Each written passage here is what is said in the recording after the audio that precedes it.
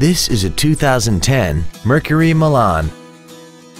This four-door sedan has a six-speed automatic transmission, a 3.0-liter V6, and all-wheel drive.